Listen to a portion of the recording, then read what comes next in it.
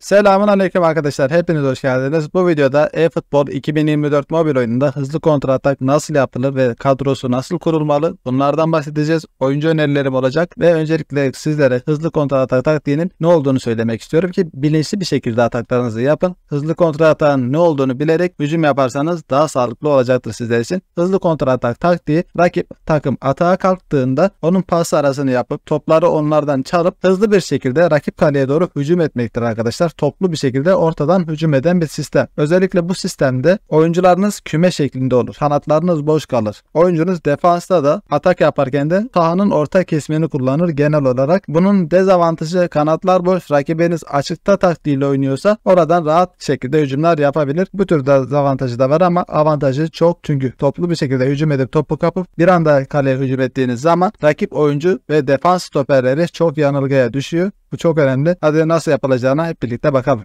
Benim sizlere önereceğim birkaç diziliş var arkadaşlar. Özellikle ben 4-3-3 sistemini hızlı kontratakta çok yani şiddetli bir şekilde öneriyorum. Çünkü tüm sahaya hakimsiniz. Şu 3 tane orta saha çok güzel top kapıyor. Rakibe pas yaptırmıyor.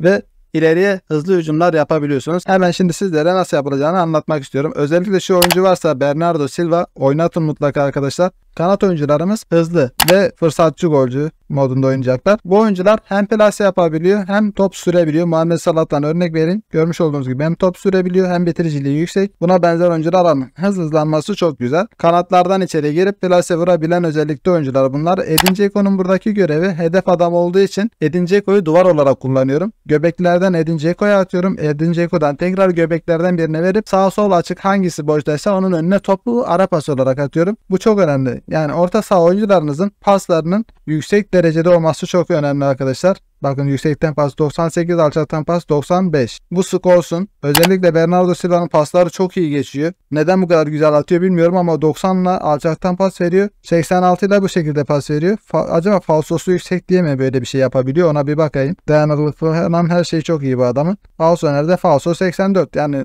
gayet normal ama bu adamın pasları çok güzel geçiyor sizlere söyleyeyim. Burada bir tane ön libero oynatıyoruz arkadaşlar. Pasları iyi. Defansif bölümü çok iyi. Bunun avantajı da oradan ileriye çıkmıyor. Orada rakip oyuncunun ataklarını rakip oyuncunun ofansif oyuncusu varsa onun önünü kesiyor. Defansta bir tane yok edici oynatıyoruz ve bir tane oyun kurucu oynatıyoruz. Ayağına hakim temiz bir oyuncu. Sağ kanatta Alexander Arnold var bende. Orta uzmanı hücumcu bekte oynatırsanız hiç fark etmez. Bence hücumcu bek varsa orada hücumcu bekte oynatabilirsiniz ama ben bu şekilde Arnold'u sevdiğim için bu şekilde oynatıyorum. Kalede Kurtu olacak. Yedekte de bir tane kurnaz, bir tane fırsatçı golcü oyuncu yedeğimiz var. Haberiniz olsun. Şimdi maçımıza geçelim. Rakibimiz geldi arkadaşlar. Sizlere öncelikle şundan bahsedeyim. Kesinlikle bu maçta kazanmak ya da kaybetmek adına oynamayacağım oynayacağım. Bu maçta hızlı kontrata nasıl yapabilirsiniz bundan bahsederek oynayacağım. Videonun sonunda bu konuyla ilgili çok detaylı açıklamalarım olacak. Onu da kaçırmayın kesinlikle. Çok işinize yarayacak bazı notlardan da bahsedeceğim. Şimdi maç içinde edemeyeceğim için o yüzden maç sonuna sakladım o notları. Sizler de bana destek olmak adına videoyu beğenirseniz sevinirim. Şuradan çok güzel geldik. Şimdi Salah. Salah kaçırdı adamını bekledi orada. Verdi pasını Bernardo'ya. Bernardo çok güzel top geliyordu oraya be. Çok güzel top geliyordu bırakmadılar. Arnold gönderdi. Salah. Tek top çok güzel. Şuradan bir pas. Mbappe gönderirse güzel olur. Dokun Çeko. Ver yukarı tekrar. Atabilirsin onu. Attı golünü. Offside mı değil inşallah. Offside sandım bir anda. 1-0 öndeyiz. Hızlı kontra atakla ilk golümüzü bulduk. Aslında Muhammed Salah'a pas attığımda golü kaçırdım sandım bir an üzüldüm.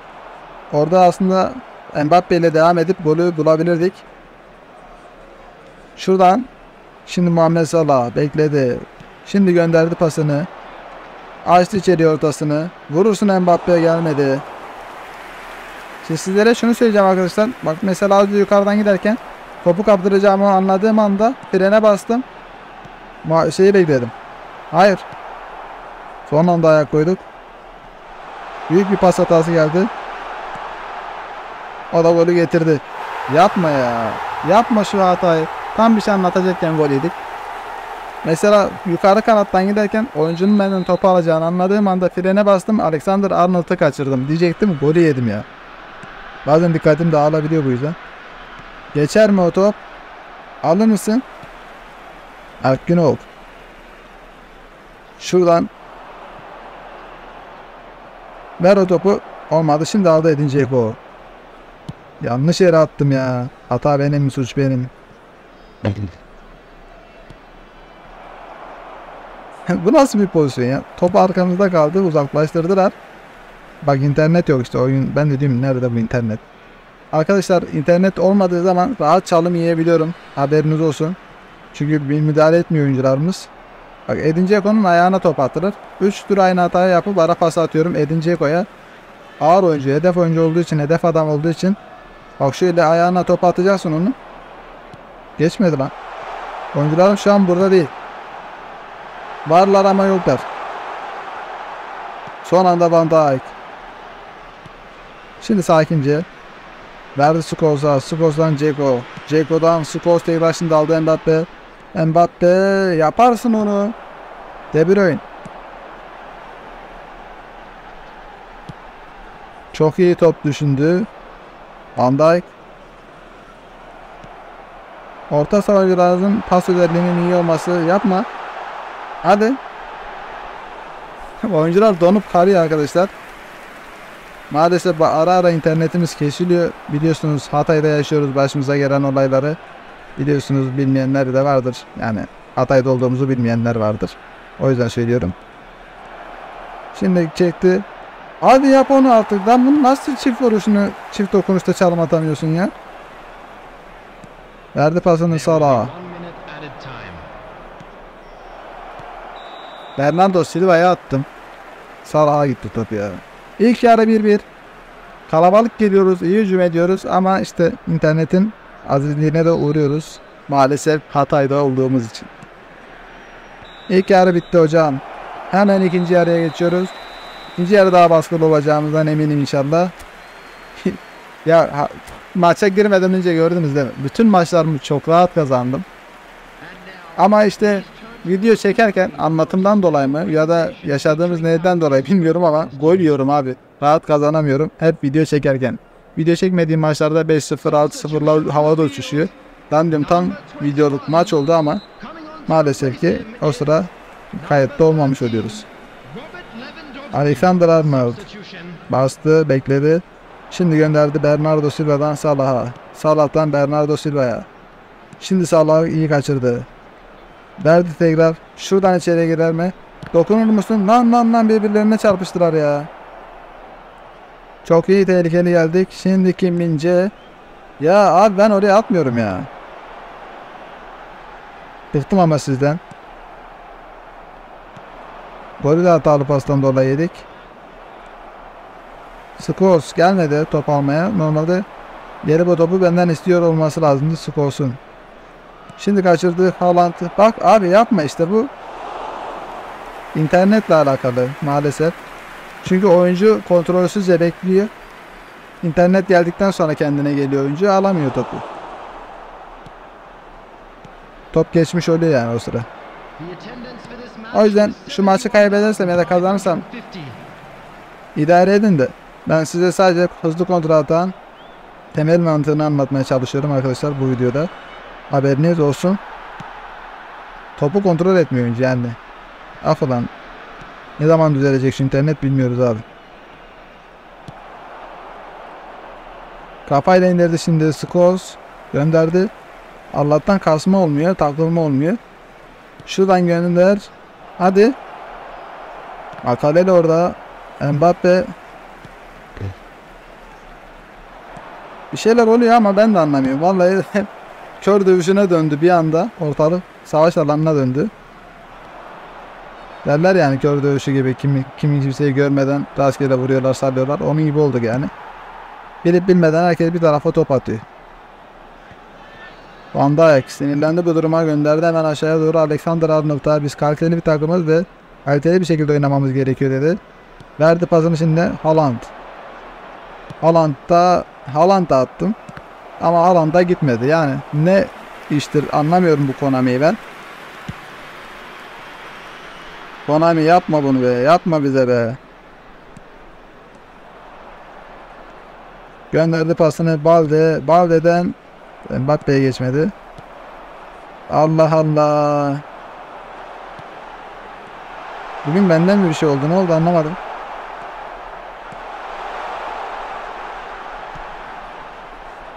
Şuradan aşağıya gönderdik. Şimdi aldı Alexander Arnold. Pardon Muhammed Salah. Verdi kaçtı Muhammed Salah. Gönderdi. Şuradan yerden bir şut. Geçer onu be. Skos'un koşuyor ona. Skos vurdu korner. İyi bir atak daha bulduk ama atamadık.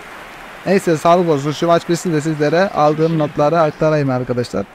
Bitmek üzere maçımız. Siz benim bu kötü oynayışıma bakmayın bugün. Siz deneyin faydasını göreceksiniz. Bak pas yerine şuta bastım hatta orada. Şimdi bir oyun. Ortası geldi. Yani orta mı kötü gitti? Neyse bir şekilde bu maçı bitirdik. Hemen sizlere notlarımı paylaşayım. Çok tuhaf ya. Yani gerçekten şaşırtıcı geliyor çünkü video çekmediğim zamanlarda müthiş işler olurken video çektiğim zamanlarda çok saçma maçlar çıkartabiliyorum. Bu da benim yeteneğim galiba. Hemen notlarımı sizlere okuyorum arkadaşlar. Rakip atağını, rakip takımın atak yapmasını bekleyin ve topu kapmak için doğru zamanı seçin. Rakibin pas hatası yapmasını sağlayın ve savunma arkasına koşu yapın. Bunları deneyin. Topu kapınca hemen ileriye doğru paslaşarak çıkın. Seri tik tik paslarla yapabiliyorsanız. Kanatlara veya forvete uzun toplar atarak rakip savunmanın arkasına sarkmayı deneyin. Ben bunları denemedim. Aldığım notlar uygulasaydım emin olun maçı kazanırdım. Rakip ceza sahasına yaklaştığınızda plase vurmayı deneyin. Bunu mutlaka deneyin. Kalecinin yerini iyi ayarlayın. Yani kaleci but önünüzde duruyor. Aşağı köşeye plase vurun. Yukarı köşeye kapattığı köşeye vuracaksanız sert vurun. Onu demek istiyorum. Rakip ceza sahasına yaklaştığınızda plase vurmayı deneyin mutlaka. Kalecinin yerini iyi ayarlayın. Ve köşeye doğru plaseyi vurun. Ayrıca rakip savunmacıların arasından sıyrılmak için çalım atmayı da deneyebilirsiniz. Bu benim en başaramadığım bir konu normalde. Başarabilsem çok faydalı bir oyunum olurdu. Bu aldığım notları ben yapmadım. Yapsaydım daha farklı olurdu ama sizler yapın arkadaşlar. İyi de oynamışız ya aslında. Üstün oynamışız da. Momentumun etkisiyle biliyorsunuz Konami'nin sırlarını. Sonraki videomuzu kaçırmayın. Artık Allah'ın izniyle her gün yeni bir videomuz olacak. Kanalı yükseltmek sizlerin elinde. Ben sadece sizler için çalışıyorum. Sizler de beni destekleyerek bu kanalın seviyesini yükseltebilirsiniz. Kendinize iyi bakın. Sizleri Allah'a emanet ediyorum. Hoşçakalın.